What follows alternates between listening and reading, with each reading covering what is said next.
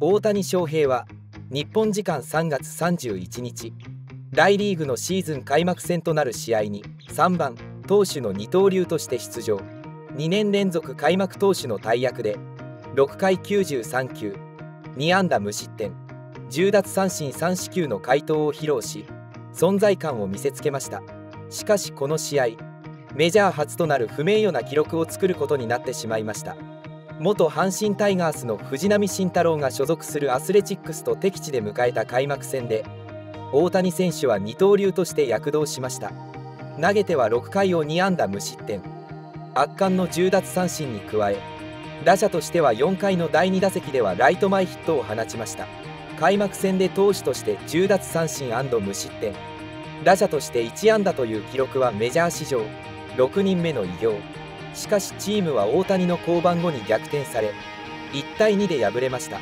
エンゼルス広報担当のマット・バーチ氏は自身のツイッターで開幕戦で大谷が生み出した記録を紹介しています。開幕戦に10奪三振以上無失点打者として1安打以上という3項目をメジャー史で満たした選手を紹介。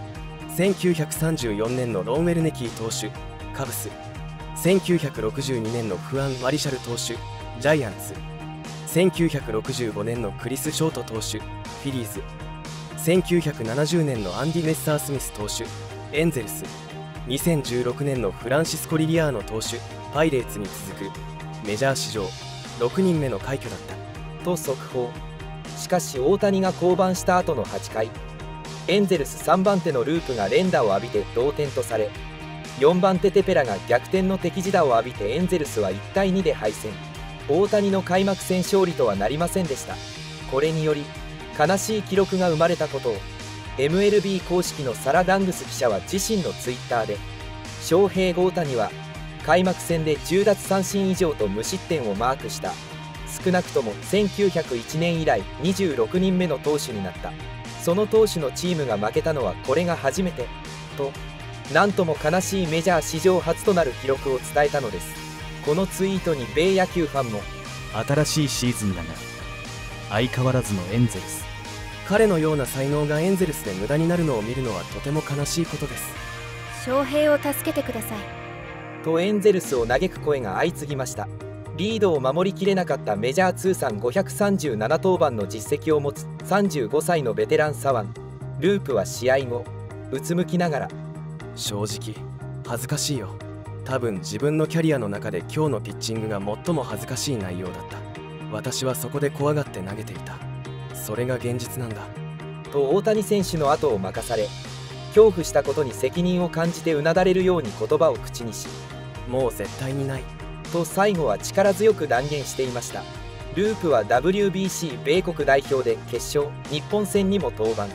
2回途中からマウンドに上がりヌートバー近藤をファーストゴロセンターフライに抑えた。これまで6球団でメジャーの試合に出場。12年にブルージェイズでメジャーデビューして14年には自己最多71試合に登板。21年にはメッツで65試合に登板して防御率0.95と驚異の記録も記録していますので今後のループには活躍を期待しましょう。エンゼルス打線は2番には年俸49億円のマイク・トラウト。3番大谷。4番には38億円のアンソニー・レンド強打者を揃える中エンゼルスはなぜ点を入れることができないのでしょうか。打線がつながらない要因はどこにあるのでしょうか。また大谷選手の後を投げるリリーフ陣の補強など投手陣の補強を行った方が良いのではないでしょうか。あなたの意見もコメント欄に書いていただけると嬉しいです。2年連続で二刀流での開幕投手を務めた大谷選手は第1打席は空振り三振に倒れましたが3回を無安打無失点に抑えた後の4回無視1塁で2打席目を迎えこの打席は2球目を打つと鋭い打球がセカンド方向へアスレチックスのセカンドを守るケンプが反応するも打球はグラブをかすめライトへこれが今季シーズン初ヒットとなりエンゼルスのチャンスを広げました。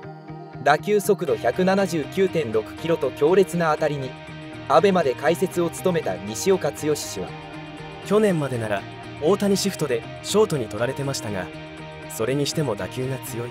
と大谷選手のバッティングを称賛。同じく解説の川崎宗則氏も。早いな。あのケンプでさえ反応できてない。メジャー屈指の守備を誇る選手の横を抜けるんだから。と驚いた様子。西岡氏の言うように昨季であれば大谷シフトに引っかかっていたかもしれない打球だったが今季から極端なシフトは禁止となっています。通常の守備位置であれば大谷の打球速度なら間を抜ける可能性は高くなります。今季はこうしたヒットが多く見られるかもしれませんね。0対0で迎えた4回の投球で大谷選手は立て続けにヒットを許してしまいワンアウト2、3塁のピンチを迎えると打席にはアスレチックス5番のアギラカウントワンノーからの2球目内角高めに時速99マイル。約159.3キロのストレートを投げるとアギラはスイングするもバットが根元付近から真っ二つに折れてしまった。打球はファールとなりましたが折れたバットが回転しながらまっすぐにマウンド方向へ。大谷めがけてバットが飛んでくるヒヤリとした瞬間でしたが大谷選手はタイミングを合わせジャンプしてこれを回避。抜群のジャンプ力を見せつけたのです。あわやという場面で見せた大谷の反射神経とジャンプ力に ABEMA で解説を務めた川崎宗則氏は翔平さん反応いいですよ。相当ジャンプしてませんでした。と驚いた様子。ネット上でもバット強襲超え。すごいジャンプ。避けるのすごい。ジャンプ力バグりすぎ。といった驚きの声が多く寄せられました。そして5回には大谷選手を助けるスーパープレーが生まれるシーンもありました。1対0とエンゼルス1点リードで迎えた5回大谷はこの回の先頭バッターであるピーターソンに対しカウント2ノーとボールが先行してからの3球目。ほぼど真ん中に甘く入ったストレートを打ち返され高く上がった打球がライト後方に向かって伸びていくとライトのレンフローが懸命に配送するも追いつくのは難しいように見えた。しかしレンフローは飛んでくる打球を見ずに自分の左頭上に手を伸ばしながらグラブを伸ばすとなんと打球がすっぽりとグラブに収まったのです。最後は確実に。ノールック。だったため適当に出したグラブで打球をキャッチしたようにも見える驚愕のスーパープレーに大谷選手も頭を抱えて信じられないといった表情を見せ驚きながらも両手を上げてガッツポーズを見せました。このプレーに解説者や野球ファンが驚くのは容易に想像できるがチームの中心選手であるトラウトに顔がそっくりだと話題になっているレンフロー。このプレーの後大きく画面に映し出されたレンフローに対してネット上ではトラウトすげえ。ライトのトラウトナイス。偽トラウトすごいな。などプレーに対してではなくトラウトと似ていることをいじられるようなコメントも多く見られました。写真を並べると確かに非常に似ているこの2人。ツイッターではこの2人の見分け方を教えてくれというようなツイートがされるほど見分けがつかない人のために個人的には唇下のヒゲの有無で判断できるのではないかと思っております。ヒゲがつながっているのがレインフロー。真ん中部分が生えてないのがトラウト。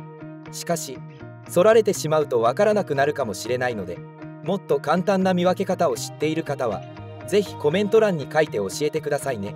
最後までご視聴いただきありがとうございました。